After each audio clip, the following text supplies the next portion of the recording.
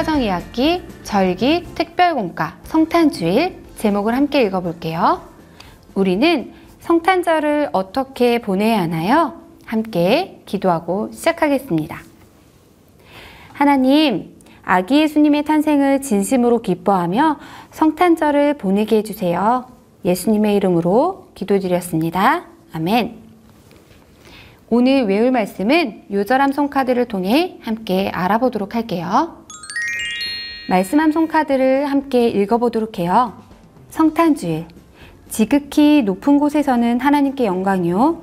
땅에서는 하나님이 기뻐하신 사람들 중에 평화로다 하니라. 누가복음 2장 14절 말씀. 아멘. 레벨 2와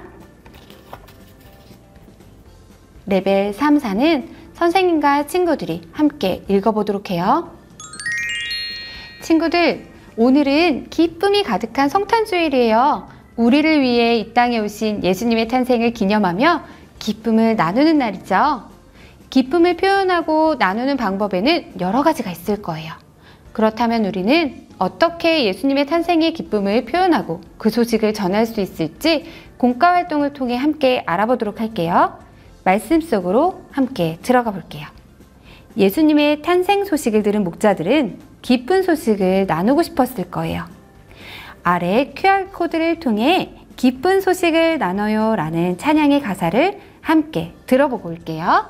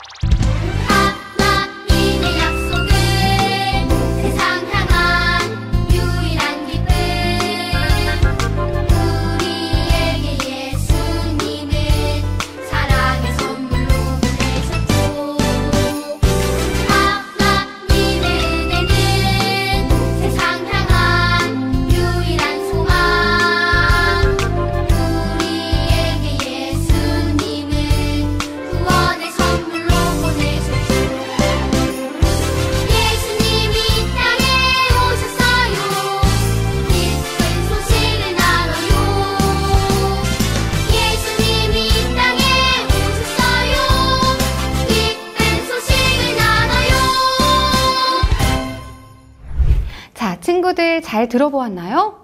그런데 가만 보니 악보에 2절의 가사가 적혀 있지 않아요. 자, 찬양을 다시 듣고 2절의 가사를 옮겨 적어도 좋고 아니면 우리 친구들과 선생님이 새롭게 작사를 해서 불러보아도 좋을 것 같아요. 하나님의 약속은 세상을 향한 유일한 기쁨이고 우리에게 예수님을 사랑의 선물로 보내셨죠. 이 기쁜 소식을 함께 나누는 가사를 한번 적어보세요. 천사들은 아기 예수님이 탄생하신 기쁜 소식을 찬양했어요. 천사들이 찬양한 내용이 어떤 것일까요? 14절 말씀을 통해 함께 빈칸을 채워보도록 할게요. 지극히 높은 곳에서는 하나님께 무엇이라고 되어 있나요? 맞아요 친구들 영광 이유라고 되어 있어요 또 어디서요? 이번엔 땅에서는 하나님이 기뻐하신 사람들 중에 평화로다 하니라 라고 되어 있어요. 말씀을 함께 다시 읽어볼까요? 지극히 높은 곳에서는 하나님께 영광이요. 땅에서는 하나님이 기뻐하신 사람들 중에 평화로다 하니라. 우리가 함께 적은 이 말씀은 천사가 예수님의 탄생을 목자들에게 알려주면서 그 탄생의 의미가 무엇인지 알려주는 내용이었어요. 우리 포인트를 함께 읽으며 성탄절을 어떻게 보내야 되는지 다시 한번 다짐하는 시간을 가져볼까요? 우리는 아기 예수님의 탄생을 기뻐하며 성탄절을 보내요. 생활 속으로를 함께 보도록 할게요. 우리도 아기 예수님의 탄생의 기쁨을 전할 수 있어요. 부록에 있는 성탄 카드를 만들어 보며 기쁜 소식을 전해 보도록 해요. 부록에 있는 성탄 카드 속지와 부록지 그리고 스티커, 풀과 펜을 준비해 주세요. 우리도 예수님의 탄생을 기뻐하며 성탄 카드를 만들어 보려고 해요. 예쁘게 그림 카드를 만들려고 하는데 이 안에 지금 색칠되어 있지 않은 그림들이 있어요. 둘 중에 하나만 사용할 거니 친구들이 선택하면 좋을 것 같아요. 선생님은 이거를 한번 선택해 볼게요.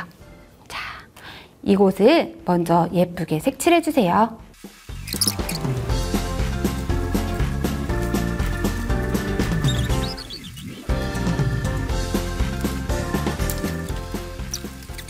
그림 카드를 예쁘게 색칠해 주었나요? 자, 그러면 한쪽에 그림 카드를 놓고 우리 접어보도록 할게요. 자, 지금 카드 속지가 있어요.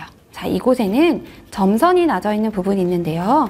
먼저 점선이 되어 있는 분, 부분들을 이렇게 앞뒤로 한 번씩 접어가면서 잘 접히도록 해주세요. 자, 그리고 또 하나. 이 부분에 보면 풀 붙이는 곳이 있어요.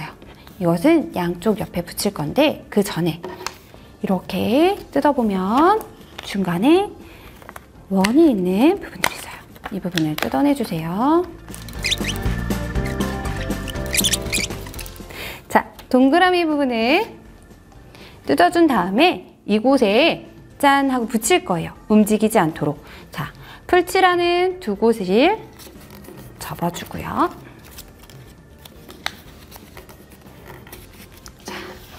뒤집어서 이곳에 모양에 맞게 붙여주도록 할게요.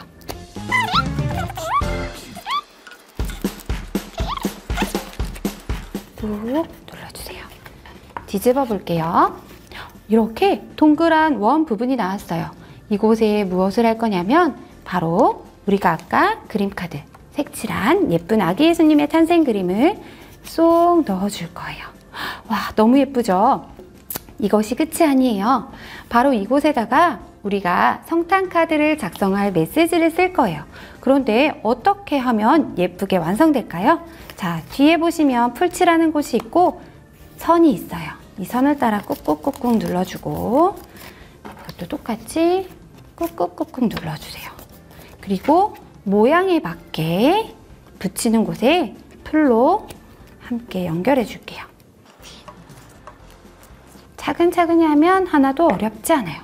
풀칠하는 곳, 다이아몬드 모양에는 다이아몬드를 맞는 모양대로 붙여주시고 또 하트 모양에도 하트 모양에 맞게 찾아서 붙여주시면 돼요. 자, 이제 거의 다 왔어요.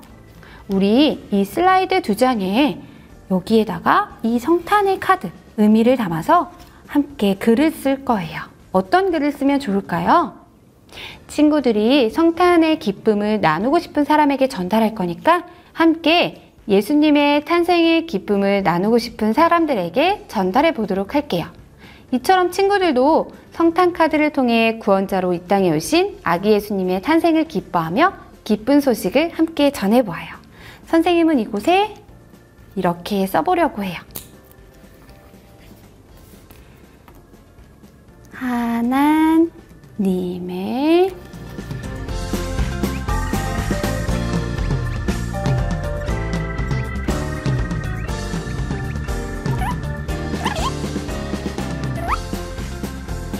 메리 크리스마스 하고 친구들이 여기에 편지를 써보면 좋을 것 같아요 친구들 근데 이렇게 하면 그림이 너무 많이 가려지죠? 자 이제 마지막으로 이곳에다가 쏙쏙쏙쏙 넣어볼 거예요. 자, 이곳에도 넣어보고요. 자, 친구들, 이제 거의 다 됐어요. 함께 카드를 짜자자자자자자자자자자 닫아볼게요. 헉! 브록 스티커를 붙이는 난이 있어요. 예쁜 하트 브록 스티커를 마지막으로 붙여줘 볼게요. 반쪽씩 나누어져 있으니 잘 붙여주세요. 또 하나를 이곳에다가 슉 해서 붙여주었어요. 친구들, 성탄 카드가 다 완성되었어요. 자, 함께 열어볼까요? 짠! 우와! 예쁘게 색칠한 아기 예수님의 그림이 보이네요. 성탄의 소망을 담은 카드를 함께 기쁨을 나누고자 하는 친구에게 전달해 보세요. 가정용 미션북 성탄주일 우리는 성탄을 어떻게 보내야 하나요? QR코드를 통해 성경 스토리를 시청해 주세요. 우리는 아기 예수님의 탄생을 기뻐하며 성탄절을 보내요. 본문의 내용을 다시 한번 읽어주세요. 미션 1. 요절 카드로 함송하고 빈칸 채우며 확인하기. 누가복음 2장 14절의 말씀을 묵상하고 빈칸을 채워가 주세요. 미션 2. 말씀 묵상하기. 본문 누가복음 2장 8절에서 14절의 말씀을 읽은 후 내용을 묵상하고 적어보세요. 미션 3. 하나 실천 계획. 성탄의 기쁜 소식을 전해주고 싶은 사람의 이름과 방법을 적고 실천해 보세요. 질문 있어요 란에도 궁금한 것들을 꼭꼭 적어주세요. 복습의 미션 1, 2, 3도 잊지 말고 체크해 주세요. 함께 기도해요.